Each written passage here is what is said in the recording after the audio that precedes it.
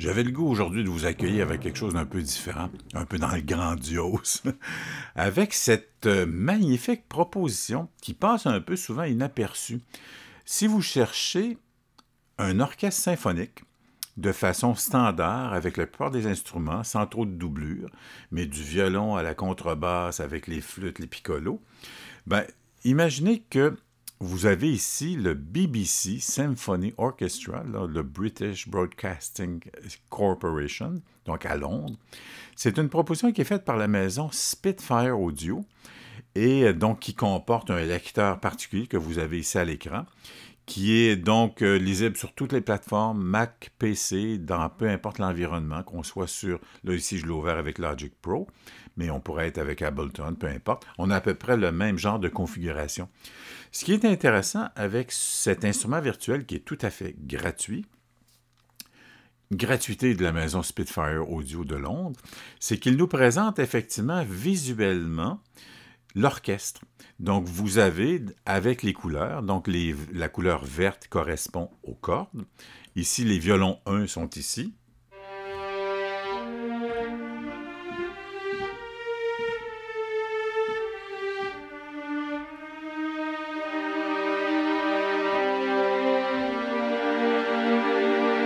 Ici, je suis uniquement dans la section des premiers violons.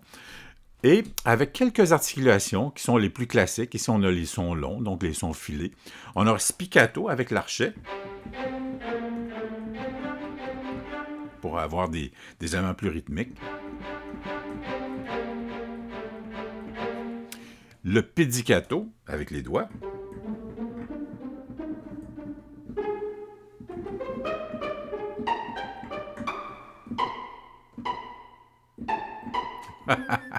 Et après ça, le dernier, très mollo.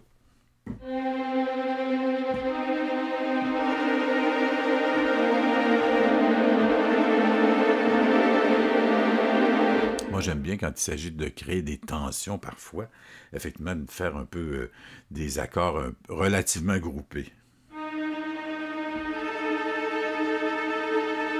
On a ici l'articulation de base. Donc, effectivement.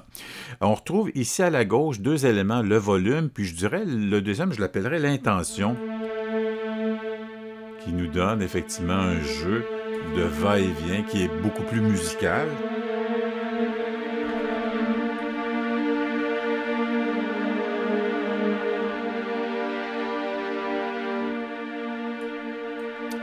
Sous le médaillon central, on va retrouver en cliquant directement sur le bouton central, des fois d'autres éléments associés. Ça peut être reverb, chorus ou des choses comme ça. Ici, c'est uniquement, je pense, le reverb, qui déjà, l'ambiance est assez euh,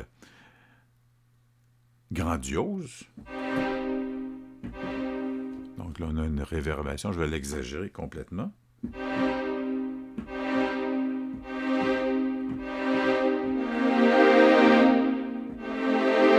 Effectivement, qui nous amène une profondeur dans l'écoute. Ce qui est intéressant dans celui-là, si vous n'êtes pas familier avec un orchestre symphonique, nous avons ici vraiment la disposition comme telle. Le chef, en général, se retrouve ici.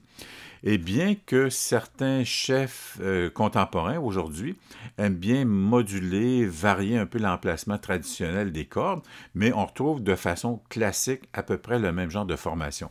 C'est-à-dire qu'ici, on aura violon 1, violon 2 ici, les altos et le violoncelle. Les contrebasses seront derrière. Certains, euh, comme je vous disais un peu tout à l'heure, certains chefs préfèrent les mettre derrière ici. Mais quand on clique sur, sur l'alto, on a aussi, ce qui est intéressant, c'est que vous retrouverez ici, en bas, sous le clavier, donc le registre de l'instrument.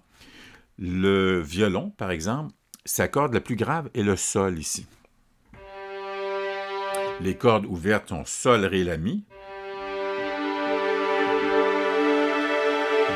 Donc, les, cordes, les quatre cordes ouvertes de l'instrument. Si je vais chercher l'alto, ben, vous voyez qu'ici, l'élément, le registre comme tel, proposition, va au Do pour la note la plus grave. L'alto étant Do, Sol, Ré, La.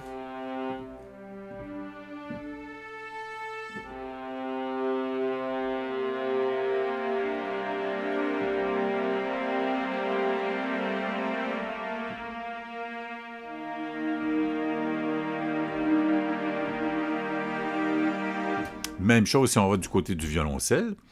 Ici, on a à peu près le même euh, registre que l'alto, mais à l'octave inférieure, donc avec le Do grave. Vous voyez ici comment déjà ça gronde.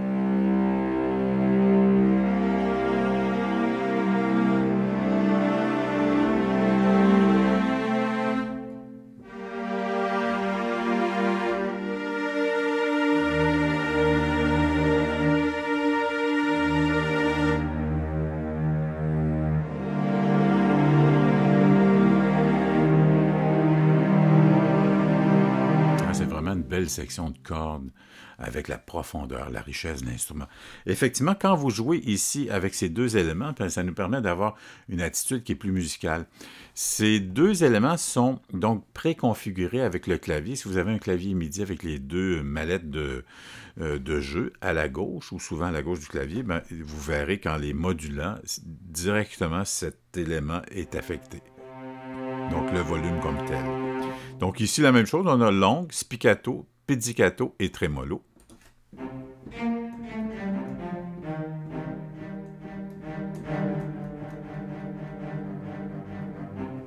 Et avec les pids,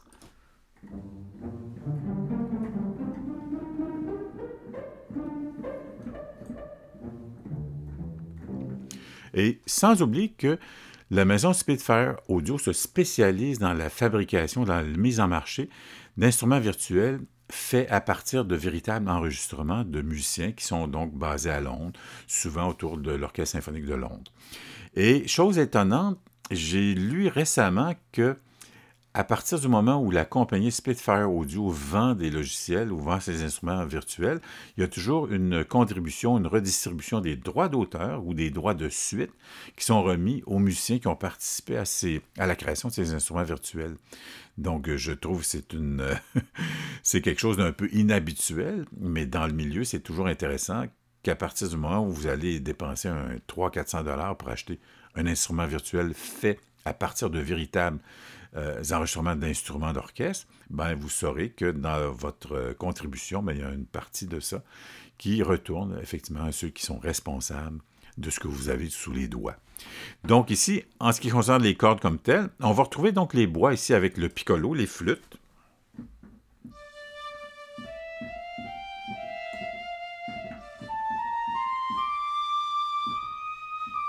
Hein, qui est vraiment très bon.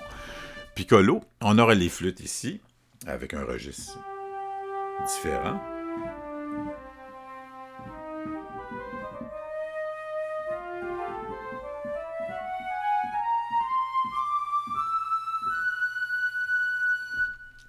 Très belle sonorité. Les hautbois.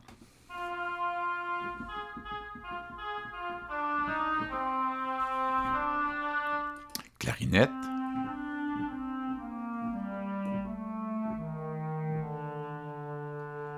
basson.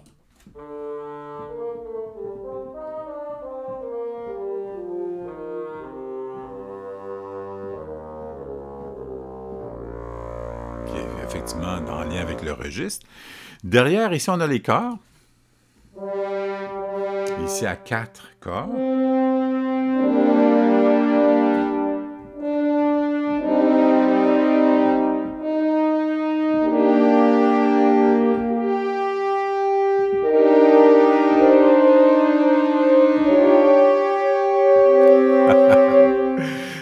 Quatre corps. Le corps, c'est vraiment un instrument de cuivre qui est très chantant, qui est très présent. Et effectivement, quand on l'amène à l'unisson, les quatre corps en même temps, ça nous donne vraiment une puissance de, puissance de frappe, effectivement, qui attire l'écoute, qui attire l'oreille. Quand c'est bien utilisé, c'est toujours euh, grandiose. Et effectivement, quand on veut avoir des éléments qui nous amènent un peu de, de densité ou enfin de, dans, l'action, ben, soit des courses ou des recherches, des choses comme ça, ben, c'est un instrument qui est fort utile pour ça. Et de l'autre côté, il peut être très, très, très chantant, euh, très mélodique, avec un registre quand même assez, assez large. Donc, derrière, si on, y va toujours dans la section des cuivres, on a les corps qui sont généralement à gauche. Et après ça, on aura les cuivres ici, trompette jusqu'à trombone, avec le tuba. Je prends le tuba, tu sais.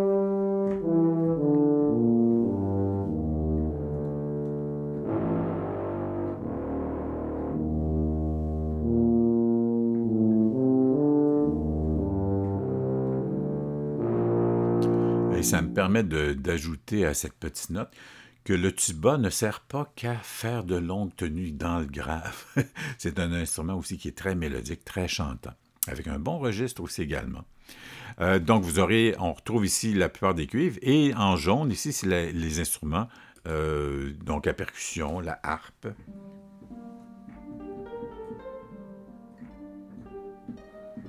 Harpe et célesta.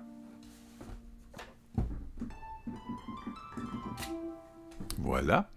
Après ça, qu'est-ce qu'on a d'autre? Ici? Ben, je vous parlais de la harpe qui est là, Plox et le Célestin. Voilà.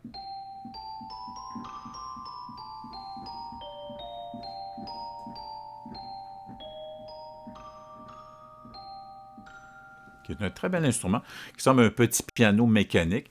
Et vous avez ici le thème qui est très, effectivement, scintillant, euh, métallique. Donc, on retrouve ici harpe et céleste. Et ici, pour la plupart des instruments de percussion, je vous avais accueilli tout à l'heure avec les timbales. Et après ça, ici, on a un ensemble de sélections. Castagnettes, différents types de tambours, cymbales, le gong.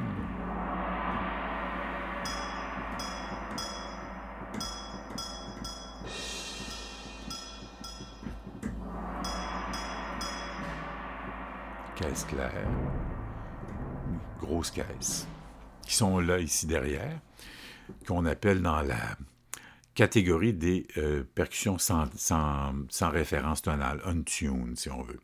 Après ça, les percussions avec référence. Ici, on aura les claviers, euh, marimba, xylophone, glockenspiel. Et ici, tubular bells, les cloches tubulaires.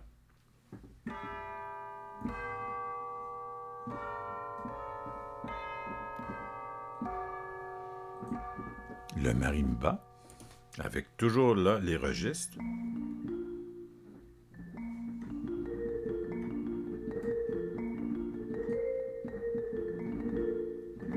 Le xylophone, qui est à l'octave supérieure. Et le glockenspiel, qui est métallique.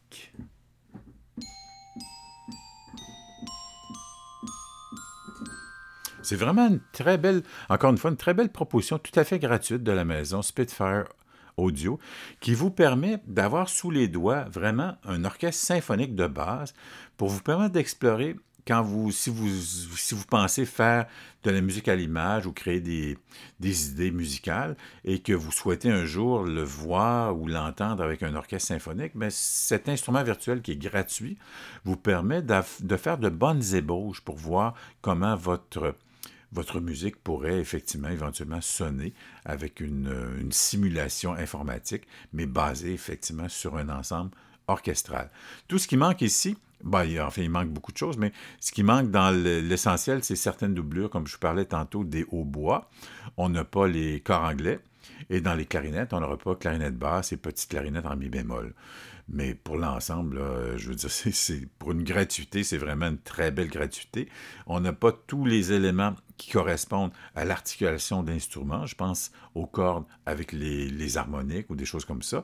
Mais ça, vous le retrouverez dans la version professionnelle de euh, BBC Symphony Orchestra ou Professional Symphony Orchestra, qui celle-là, je ne sais pas, est à combien, mais vous la retrouverez sur leur site. Si vous avez besoin donc d'un instrument qui vous permet d'imager à quel point votre musique sera résonante avec un orchestre virtuel symphonique, ben ici, euh, voici une bonne porte qui est peu coûteuse, mais qui vous permet effectivement d'avoir un avant-goût, si on veut. L'autre point intéressant, et vous retrouverez d'ailleurs sur le site euh, PianoBook des templates, des modèles qui vous permettent d'avoir l'ensemble ici. Bon, je, le fais à, l'unité, mais il y aura donc des templates qui nous permettent d'avoir à la gauche ici l'ensemble des canaux qui correspondent à tous les instruments que vous retrouvez dans la proposition, c'est-à-dire de la flûte ou des instruments dans l'aigu jusque vers la contrebasse, vers le bas. Donc, c'est des templates qui sont offerts gratuitement. On les retrouve sous Logic. Je pense qu'ils l'ont fait aussi pour Ableton, mais je ne suis pas sûr. Mais sinon, c'est des choses qui sont simples à faire, mais qui sont surtout longues. Mais je vous invite donc à explorer cet instrument qui est une belle gratuité, une belle euh, entrée en matière dans le monde orchestral Et je vous souhaite une bonne visite sur le site Piano Book. Je vous souhaite surtout une bonne inspiration.